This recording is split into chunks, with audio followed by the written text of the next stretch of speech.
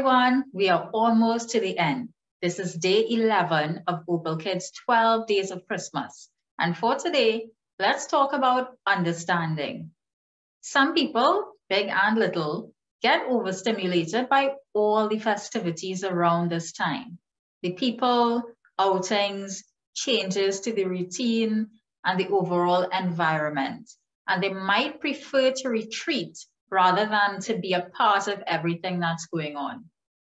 Please understand that by forcing your child to be involved in everything, you are setting them up for distress that can last way longer than the actual event.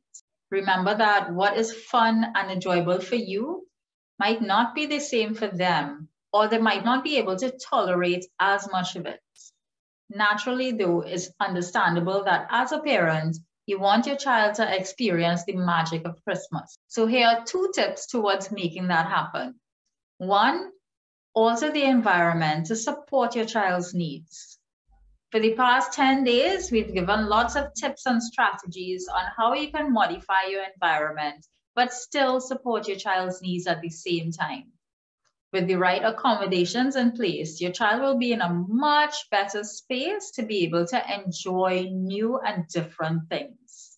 Two, set expectations that are within your child's limits. For example, one expectation could be that you expect your child to say hi to the family members if you have one or two people over to your house, but it can be when they are ready.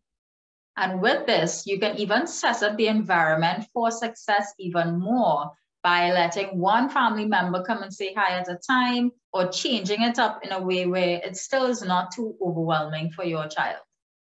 But please also respect your child's choice to say no if they aren't comfortable.